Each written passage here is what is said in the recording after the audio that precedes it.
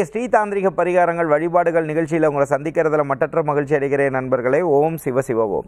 இன்றைக்கி நம்ம பார்க்கக்கூடிய தலைப்பு என்ன அப்படின்னு சொல்லி பார்த்தீங்கன்னா ஒரு சில மித்து இருந்துகிட்டே இருக்குது சரிங்களா?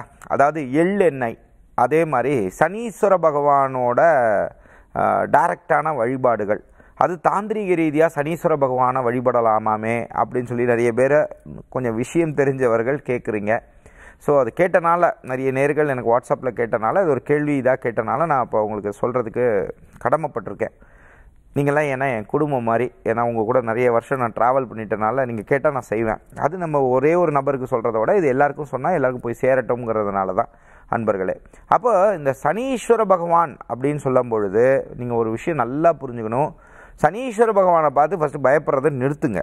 சனி ஈஸ்வர பகவானை பார்த்து யார் ரொம்ப பயப்படுவாங்கன்னா அவங்க வந்து நியாயத்தை பார்த்து பயப்படுறதும் அதே மாதிரி அவங்களோட பர்சனல் லைஃப்பில் தப்பு தப்பாக செய்கிறவங்க தான் சனீஸ்வர பகவானை பார்த்து ஃபஸ்ட்டு பயப்படுவாங்க. அப்போது இது நீங்கள் ஃபஸ்ட்டு அவரை பார்த்து நீங்கள் பயப்படுறீங்களா அப்படின்னு நீங்கள் ஒரு செல்ஃப் செக் பண்ணி பாருங்கள் இது நான் சொல்கிறது வந்து உங்களை நான் வந்து சனீஸ்வர பகவானோட ஏஜென்ட்லாம் ஒன்றும் கிடையாதுங்க. அதுதான் உண்மை சரியா?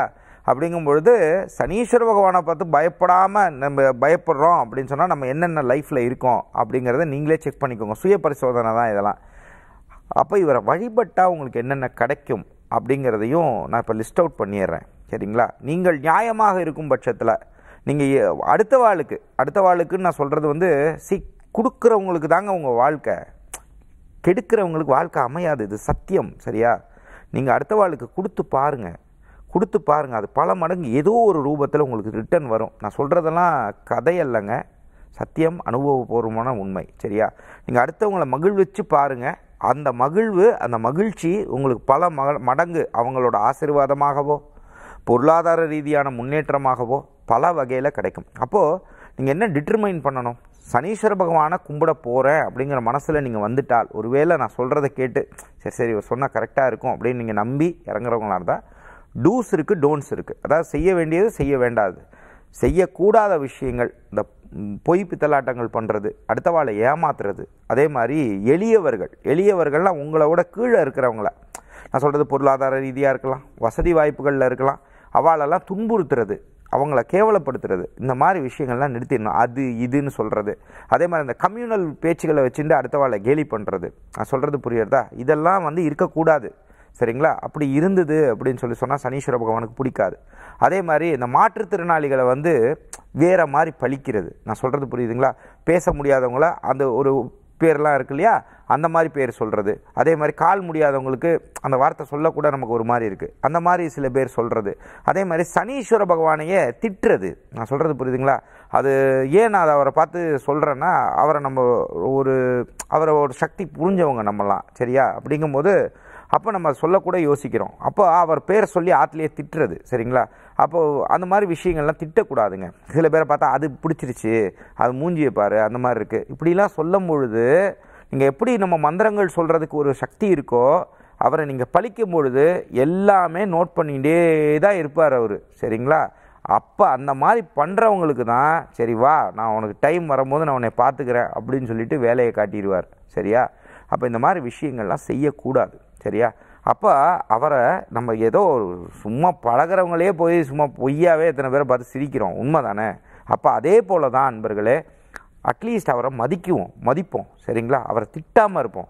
திட்டாமல் இருந்துட்டு அவங்க அவருக்குன்னு பிடிச்ச விஷயங்களை செய்வோம். எப்படி நமக்கு உங்களுக்கு பிடிச்ச மாதிரி பிடிச்சா எப்படி பண்ணுறீங்க இப்போ பிடிக்கலன்னா எப்படி உங்களுக்கு பிடிக்கலன்னு கமெண்ட்லேயே கொடுக்குற மாதிரி தான் அப்போ அந்த தெய்வத்துக்கு பிடிச்ச மாதிரியும் அந்த சனி ஈஸ்வரன் பட்டம் பெற்ற ஒரே கிரக அரசர் பாருங்கள் அப்போது அவருக்கு பிடிச்ச மாதிரி விஷயங்கள் என்ன? இப்போ நான் எதெல்லாம் வேண்டான்னு சொன்னனோ அதெல்லாம் செய்யுங்க. எந்த வகையில்? பாசிட்டிவ் சைடில் எளியவர்களை பார்த்தா யாராவது ஒருத்தர் கஷ்டப்படுறாங்களா?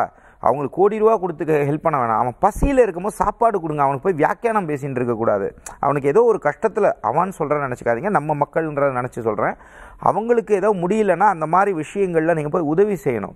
அவனுக்கு கல்வி தானம் அவங்களுக்கு தேவைப்படுதா? கல்வி தானத்துக்கு உங்களால் முடிஞ்ச உதவி செய்யுங்க. இந்த மாதிரி விஷயங்கள் செய்கிறது அதே மாதிரி மாற்றுத்திறனாளிகள் இருக்காங்களா? அவங்கள போட்டுருங்க நம்மளுக்கு இல்லாத விஷயங்கள் வந்து அவங்கக்கிட்ட ஏதோ ஒரு டேலண்ட் இருக்கும். அவங்கள என்கரேஜ் பண்ணுங்கள் அவங்களுக்கு முடிஞ்சால் அவங்களுக்கு ஒரு வாழ்க்கையை கொடுங்க. வாழ்க்கையை கொடுங்கன்னா நீங்கள் அவங்களுக்கு ஒரு தேவையான விஷயங்களை செஞ்சு கொடுங்க. இந்த மாதிரி விஷயங்கள்லாம் நீங்கள் செய்தீங்கன்னாலும் நம்ம முன்னாடி எதெல்லாம் நீங்கள் செய்யக்கூடாதுன்னு சொன்னனோ அதை பாசிட்டிவாக நீங்கள் செய்ய வேண்டிய விஷயங்கள்லாம் செய்யுங்க. குறிப்பாக செய்யக்கூடாத விஷயம் என்ன? கந்து வட்டி தொழில் பண்ணாதீங்க. அந்த கந்து வட்டி தொழில் பண்ணால் சனீஸ்வர பகவானுக்கு சுத்தமாக பிடிக்காது. தொழிலை அழித்து விடுவார் குடும்பத்தை அழித்து விடுவார். இதை நீங்கள் புரிஞ்சுக்கணும். இதுதான் உண்மை. அப்படி நீங்கள் ஒருவேளை இந்த தொழிலில் இருக்கீங்க அடுத்தவங்களோட வயிற்றுச்சலை கொட்டின்னு இருக்கீங்க அப்படின்னு சொன்னால் நான் உண்மையை சொல்கிறேன் நண்பர்களே நான் எந்த வட்டிக்காரர்களுக்கு எதிரானவங்க கிடையாது. எனக்கே எத்தனையோ பேர் ஃபைனான்ஸ் பண்ணவங்களாம் இருந்திருக்கிறாங்க. ஆனால் எல்லாருமே நல்லவங்களா அப்படின்னு கேட்டால் கிடையாது அன்பர்களே. சில பேர் வந்து துன்பப்படுத்தக்கூடிய அன்பர்கள் இருக்கும்போது அந்த ஆப்போசிட் சைடில் இருக்கிறவங்க என்ன பண்ணுவாங்க? வயிறு எறிஞ்சு திட்டிப்பிடுவாங்க. அப்போ இதெல்லாம் என்ன ஆகும்னா கர்மத்தில் போய் சேரும். கர்மக்காரகனான சனீஸ்வர பகவானுக்கு அதெல்லாம் பார்த்துட்டே இருப்பார். அவர்கிட்ட நீங்கள் கும்பிட்டாலும் சரி கும்பிடாட்டியும் சரி அவர் பார்த்துட்டே இருப்பார். அந்த நேரம் வரும்போது அவரோட வேலையை காட்டிடுவார். ஸோ இந்த மாதிரி விஷயங்களில் இருக்கும் பொழுது இந்த தொழில்களை செய்யாமல் இருக்க வேண்டிய தொழிலில் இது ஒரு தொழில் நீங்கள் செய்யாமல் இருக்கணும் நண்பர்களே.